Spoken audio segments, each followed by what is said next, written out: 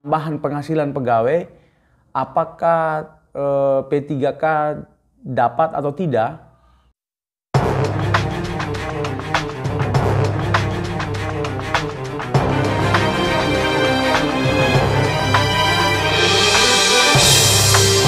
Teman-teman guru P3K tahun 2022, selain informasi berkaitan dengan eh, gaji bulan Juni Juli 2023 yang belum dibayarkan, sementara TMT-nya sudah terhitung di bulan Juni dan gaji baru diberikan bulan Agustus 2023.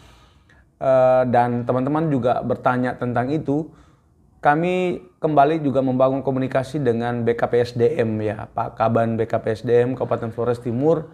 Bagi kami beliau sangat uh, apa ya uh, antusias, beliau sangat respect dan selalu memberikan respon atas semua pertanyaan yang kita sampaikan, baik itu kita ketemu langsung maupun uh, kita melalui komunikasi uh, secara online, dalam hal ini melalui WhatsApp.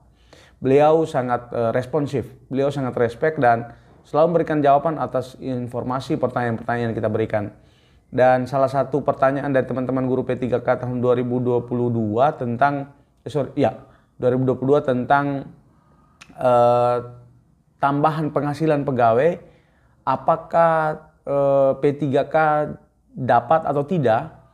Karena secara pemberkasan teman-teman juga dilibatkan. Nah itu juga hal yang menjadi kami komunikasikan dan dari BKPSDM punya jawaban bahwa uh, saya bacakan di sini dari Pak Kaban ya BKPSDM. Saya koordinasikan dulu dengan keuangan. Nah, jadi teman-teman sekalian, informasinya ini kita harus terus uh, ikuti dulu uh, bahwa kemarin teman-teman juga dilibatkan dalam pemberkasan untuk uh, TPP dan informasi-informasi sebelumnya juga teman-teman sudah mendapatkan bahwa teman-teman juga akan mendapatkan. Nah, tentang ini akan ada koordinasi dulu di tingkat uh, lembaga uh, di Badan BKPSDM Kabupaten Flores Timur dengan Badan Keuangan Daerah BKD. Nah, Nanti komunikasi dua lembaga pemerintahan di Kabupaten Flores Timur ini dulu dan informasinya seperti apa akan kita bagikan lagi kepada teman-teman sekalian. Yang pasti bahwa uh, kita bersabar uh, informasi yang uh, terupdate kemudiannya seperti apa nanti kita akan tetap bangun komunikasi antar mitra kita ini. Jadi teman-teman sekalian memang kalau pengalaman uh, untuk PNS ya yang penerima TPP uh, eh, pemberkasan uh, biasanya disampaikan dan teman-teman akan mengumpulkan dan tidak juga langsung se, setelah mengumpulkan berkas dan langsung mendapatkan. Ada proses yang dilewati lagi dulu dan untuk teman-teman PNS yang penerima TPP saat ini pun uh, belum menerima. Menurut informasi yang kami dapatkan itu mereka belum terima juga.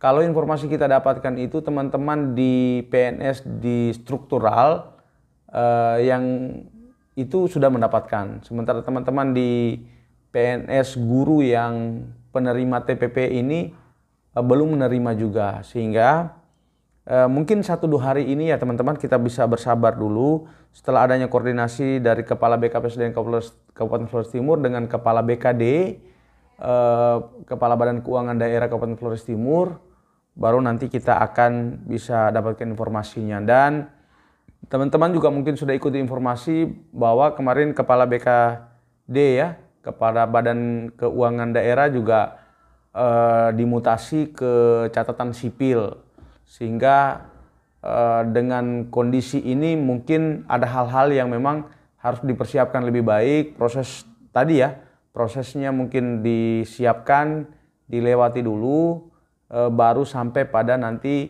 e, akan ada realisasi dari tunjangan eh sorry tambahan penghasilan pegawai ini. Jadi mungkin informasi singkatnya demikian teman-teman. Kiranya dapat dipedomani dan yang pasti bahwa uh, kita tetap saling komunikasi sampai di mana satu putusan yang diturunkan sepanjang itu uh, ada pangkuan atau landasan uh, hukumnya yang pasti, regulasinya yang jelas, maka tentu itu menjadi hal yang kita pedomani. Tapi manakala ada keputusan yang diambil yang mana secara regulasi ditabrak atau secara regulasinya itu dilanggar, tentu kita akan saling komunikasi lagi untuk mempertanyakan kira-kira kondisi ini seperti apa. Karena teman-teman kita di daerah lain tidak mengalami seperti ini. Karena ini uh, kita uh, mengalami hal yang sama. Uh, sementara ada perbedaan di antara kabupaten satu dan kabupaten yang lain. Sementara regulasi ini menerangkan demikian atau menuliskan demikian. Sementara di daerah kita kenapa tidak diperlakukan demikian? Mungkin kondisi lain seperti itu akan ada uh, ruang diskusi lainnya.